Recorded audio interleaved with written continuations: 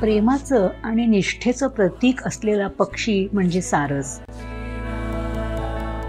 जोडीदार निवडायचा तो आयुष्यभराकरता या त्याच्या वैशिष्ट्यपूर्ण स्वभावामुळे हा पक्षी माणसांना आपलासा वाटतो. कारण पक्ष्यांच्या कुटुंब पद्धतीमधील पावित्र्य सारस पक्ष्यांनी राखलं आहे. नारिंगी डोळे करडा रंग लांब सडक तांबडे पाय लाल भडक मान आणि डोके करड्या रंगाची अणुकुचीदार चोच आणि सुमारे पाच सहा फुटांची उंची अशी शरीर संपदा लाभलेला हा पक्षी. त्याची चाल त्याचे नृत्य हे सारं पाहिलं की नजर ठरत नाही. नर व मादी दिसायला सारखेच. आकारामध्येच काय तो फरक? शेतात मध्यभागी अथवा बांधाच्या कडेवर काड्या पालापाचोळा जमवून साधारणपणे एक मीटर एवढ्या व्यासाचे छानसे घरटे तयार करतात. घरट्याच्या आजूबाजूचा परिसर सारस पक्षी नेहमी स्वच्छ ठेवतात. कारण त्यामुळे त्यांना घरट्याच्या आसपासचा वावर स्पष्टपणे दिसू शकतो. विणीचा हंगाम साधारणपणे पावसाळा संपला की सुरू होतो. घरट्यामध्ये दोन अंडी घातली जातात. सुमारे सव्वीस ते पस्तीस दिवस एवढा काळ हा अंडी उबवण्याचा असून हे काम बहुधा मादीमार्फतच होतं.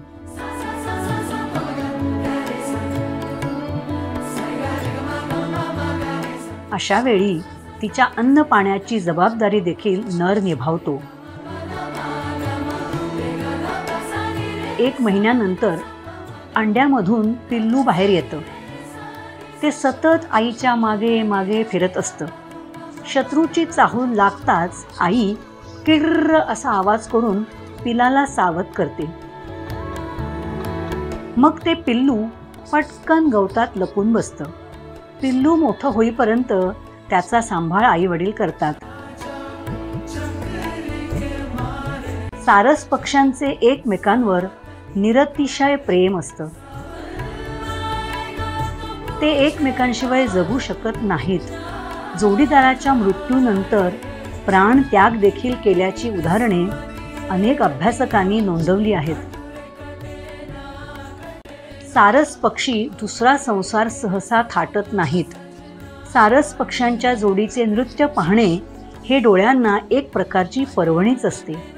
आपली लांब सडक मान वेळावून अंगाभोवती गिरक्या घेत पंख फडफडवत हवेमध्ये उंच उडी मारून स्वतःभोवती पिंगा घालत केलेला नृत्याविष्कार.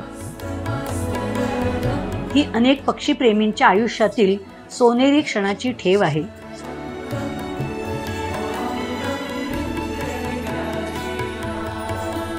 सारसाच्या अंड्यांना हानी पोचवली किंवा घरटे उद्ध्वस्त केले तर आपल्या वाट्याला दुर्दैव येईल हा समज गोंड आदिवासींमध्ये ठामपणे रुजलेला आहे.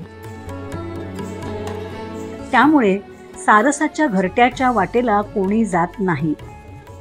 शेतामध्ये सारसाचे घरटे असणे हे भाग्याचे लक्षण समजले जाते. या पक्ष्यांच्या अन्नात ग्रासहॉपर जलवनस्पती मासे किडे बेडूक किंवा कठीण कवचाचे जलचर प्राणी यांचा समावेश असतो. सुमारे तीस ते चाळीस वर्षांचे आयुष्य लाभलेला हा पक्षी कुटुंब वत्सलतेचं प्रेमाचं आणि मायेचं प्रतीक म्हणून समजला जातो.